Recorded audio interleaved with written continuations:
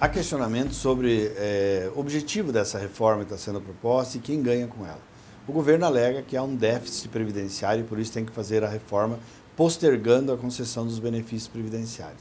Na verdade, esse déficit não existe, o que existe é uma manobra contábil, porque o governo não considera uma série de receitas, assim como não considera as isenções e imunidades que ele dá para entidades filantrópicas sem fins lucrativos. Se tudo isso fosse modificado, o sistema certamente seria superavitário.